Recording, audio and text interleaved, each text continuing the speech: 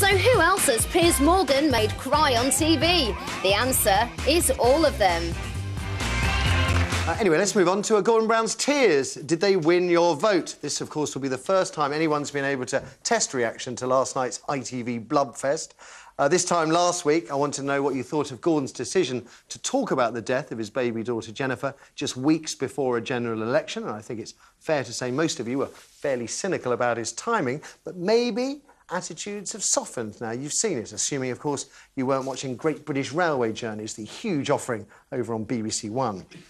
Chuff, chuff, chuff, chuff, chuff. Here's Gordon telling Piers Morgan about the moment he realised his first child, the newborn Jennifer, was seriously ill. Probably after a week, Sarah and I, uh, she was in special special care. I, I, I turned to the doctor and I said, "She's not going to live, is she?" And he said, "No, I don't think so. She's not going to live." And nobody had said anything about that before, but I just sort of sensed that we just couldn't. So we had a weekend where we just knew that she was not gonna not gonna survive, and uh, she was baptized, and we were with her, and I held her uh, as she um, as she died, and it was, you know, Sarah, Sarah and I just. Uh, we, we, we found it very difficult because you know, it was her first child and she was such a beautiful baby and you couldn't see from anything that there was something so fundamentally wrong, but she'd suffered a brain hemorrhage and, and we, we only found out after a week. Now, whatever your take on it, the interview represents a watershed for the beleaguered PM who has steadfastly refused to drag his personal life and especially his kids into politics in the past, which of course still leaves us with the question why now, just weeks before a general election?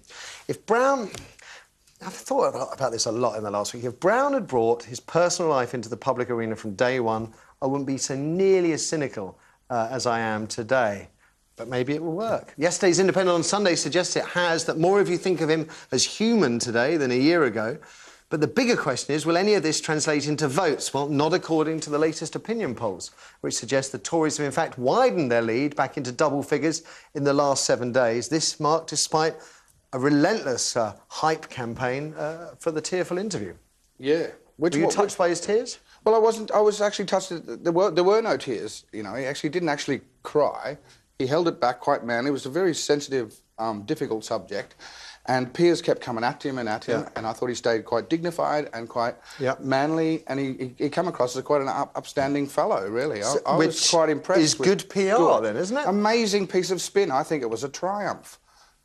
I really do. I think it was, um, yeah, okay, yeah, that's right. He's a bloke. Okay. And, he, and, it showed how smart he was. Because I went back and went, oh, okay, this is a really clever bloke here. Okay. He's not just... So, um... does that justify breaking his personal moral code, which had been not to exploit his family? Yes. And, and the part that I always remember is Jennifer died eight years ago.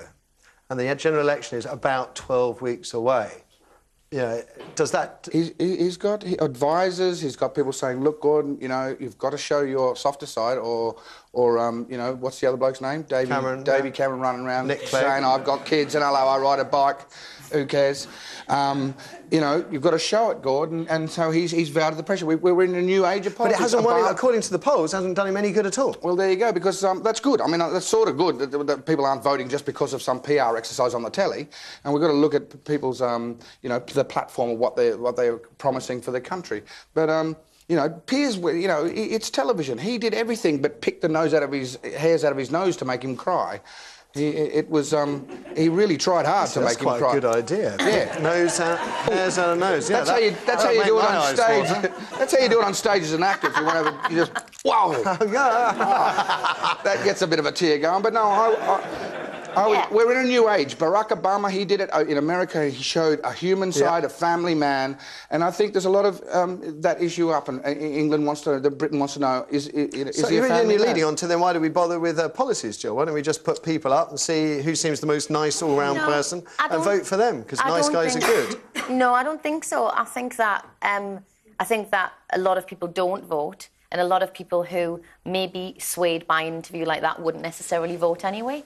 So the people who are, and I don't think has it, it done him. Has I don't done... think it did him any harm. I don't know whether it's done any good as far as votes go. I think what it has done is showed a human side to him, but that doesn't make me feel any better about somebody who runs the country. Now, if you, if he had decided to show his human side from the day he took over as Prime Minister despite receiving no mandate from the electorate.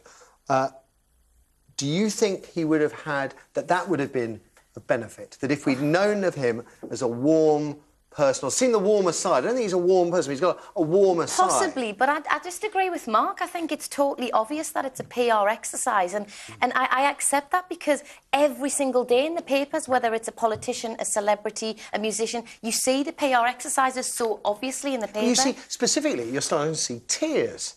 And the fantastic didn't thing about cry. politicians in the past is that it was about maintaining some kind of dignity. But he did. I, I re- did, I- that's did, the one man. thing I would say last night. I would say I would absolutely argue the point that he absolutely kept his dignity. Yeah. And I'm not. To- I'm not saying that makes him a better person to run the country, but he, he did not produce some sort of act where he wanted you to feel sorry for him. I don't think he's capable of that.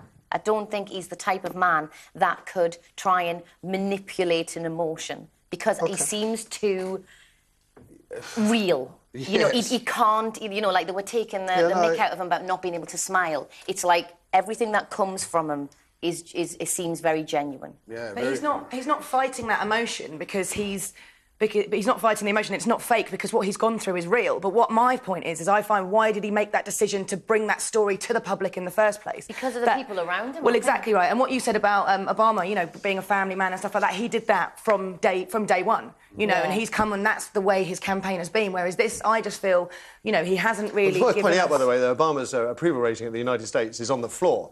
I mean, Yeah. they, they, in many states they absolutely loathe him. So, Yeah, no, I uh, you know. he had, he had, you know, he's had tough times. But I'd have sympathy. I watched the interview and I did have sympathy for him. I thought, you know, and I thought it was very, very touching, and the story was very touching. But he's supposed to be running our country, and you know, Yeah. that's not really going to change my opinion about whether or not. I- I would have liked to have heard a few more, see were there any tears involving all the people that die in Iraq or Afghanistan, specifically Iraq and Well, illegal exactly. invasion that he sanctioned. You know, we didn't know anything. About we didn't that. know anything about the consequences of his actions, as actions, a exactly politician. right. We only know a little bit about what he is as a human being, and we're not voting for him surely as a human being, No. but as a politician. But then that's that's surely that's Piers' responsibility to ask them questions, and he I mean, he may, he may well have done it. It's a two-hour interview that had been edited down. Well, then you know he, he- you know he's not in control of what goes out, is he, Gordon?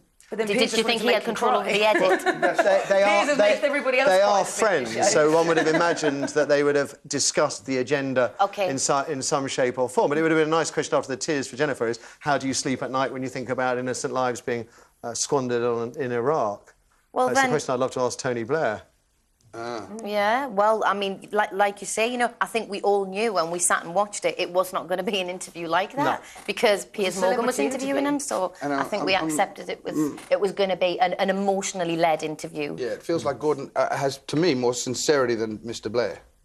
OK, well, But then he's very now made himself a celebrity by going on that. You know, he's our prime minister, and he's not a celebrity. It just kind of oh. shows the way our world okay. is working. The question, lest we lose sight of it, is whether or not it's going to make you more or less likely to vote Labour. Let's find out what you have to say. Kirsty. We have Elaine on line one.